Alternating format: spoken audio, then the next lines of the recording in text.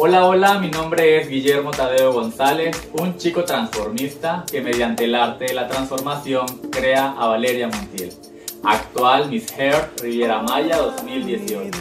Y quiero invitarlos a que asistan este 26 de agosto a la gran final, donde se elegirán a las nuevas soberanas de la naturaleza.